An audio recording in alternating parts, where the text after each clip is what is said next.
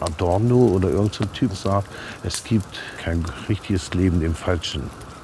Und ich widerspreche und sage doch, es gibt auch, wo scheinbar alles nach Untergang schreit, Sachen, die äh, etwas Gutes in sich tragen. Lothar König ist heute mein Gast. Fast 30 Jahre lang hat er die junge Gemeinde in Jena geleitet. Herzlich willkommen, Herr König.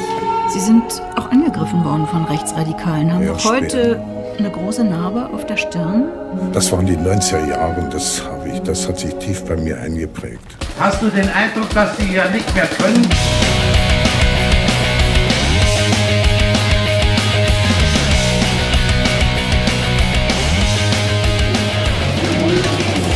Sag mal, so eine richtig scheiß bürgerliche Demo wird das. Ich sag dir jetzt schon. Und was ist denn daran raffiniert, wenn sich so ein Nazi dahinstellt und sagt, wir, wir sind die Vertreter der friedlichen Revolution?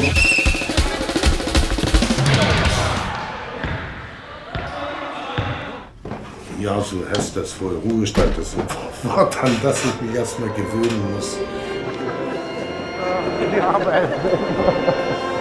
Wenn dort im Mitte mir einer ersaufen tut, dann drehe ich mich nicht um und gehe weg, sondern springe ich da rein und versuche, denen zu helfen. Sie sind mit Ihrem Lautsprecherwagen zu vielen Anti-Nazi-Demos gefahren.